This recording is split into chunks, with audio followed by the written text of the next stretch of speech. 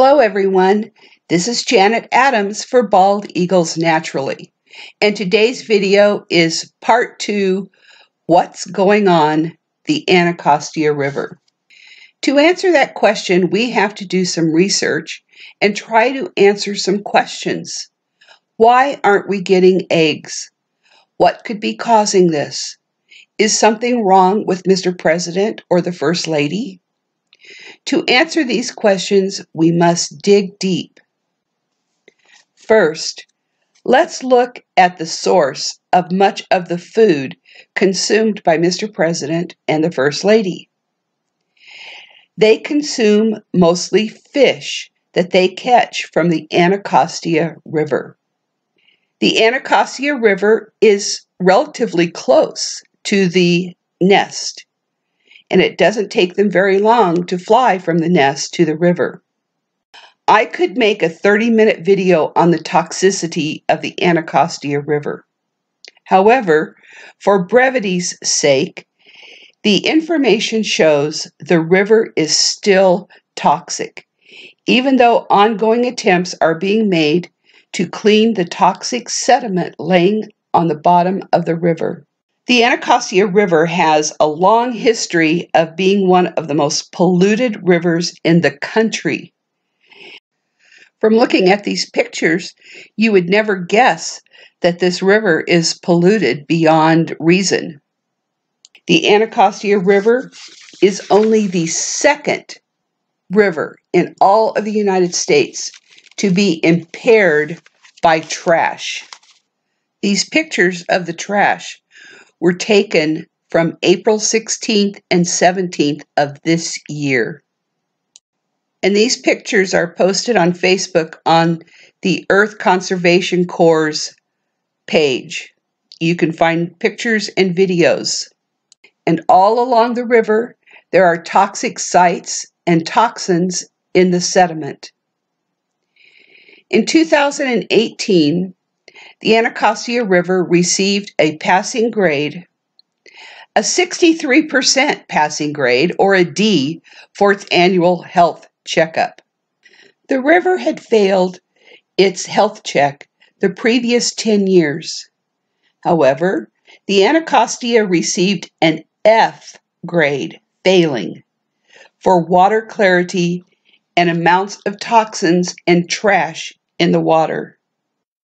Plans are being made from several organizations to clean up the river. But my question is is it enough to save the wildlife that is being impacted? There are specific hotspots along the river that still have not been cleaned up. There have been three main problem areas that spilled contaminants into the Anacostia River the Navy Yard, Washington Gas, and Pepco. There are six known toxic sites along the river. Those six sites center around contaminants and pollution from multiple sources, such as past industrial land uses, sewer outfalls, contaminated groundwater, runoff from rainstorms, and landfills placed near the river. So, what kind of contaminants are we talking about? PCBs, polychlorinated biphenyls, are chemicals used primarily as insulation and cooling fluid in the electric industry. PCBs are known to cause cancer. They do not break down for years, and thus they remain in the environment, accumulating larger amounts at higher levels of toxicity. There is evidence that PCBs interfere with reproduction in wildlife. This map shows an overlay of the United States National Arboretum and how close it is to some of the highest contaminants of PCBs in the area. While the water quality has gradually been improving, the toxicity of the sediment is still alarming. It is not safe to swim in the Anacostia River, and levels of fecal bacteria are alarmingly high after it rains. What is hydrilla? You know this green stuff that you put in your aquariums at home for your fish? Hydrilla is another potential threat to our eagles.